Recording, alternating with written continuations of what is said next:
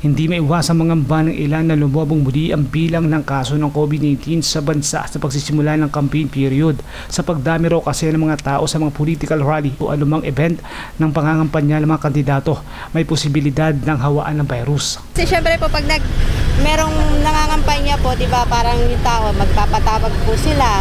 Nag-iipon-ipon po yung mga tao. Malaki po yung chance na magkakawahan. Perito rin ang tingin ni Mamang Andy sa pagsisimula ng kampanyahan. Uh, pwede lang dumami ang COVID. Eh, bawal na muna yung mag-ipon-ipon ng tao. Nagbabala ang health experts sa posibilidad na maging super spreader events sa mga campaign activities tulad ng proclamation rallies. Ayon kay Dr. Tony Leachon, dating Special Advisor ng National Task Force Against COVID-19, maaaring mawala ng saysayang pagsusumikap na maibaba ang kaso ng COVID-19 kung magpapatuloy ang mga paglabag sa loob ng siyam na pung araw na panahon ng kampanya para sa mga national candidates. Aniya nakakabahala ang hindi na nasusunod na social distancing measures at iba pang protocol na naobserbahan nila. Para sa mga butante, dapat maging responsable ang mga kandidato sa mga health and safety protocol laban sa hawahan. Maging responsable. Kasi maging sa mga protocol, sundin ang lahat ng pinag-uutos ng, ng gobyerno ng ATM.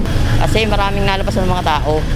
Dagdag naman ni Leachon, dapat na mag-ingat ang bansa para hindi magaya sa India na nakaranas ng surge noong nakaraang taon matapos luwagan ang restriksyon para sa campaign, sorties at religious gatherings.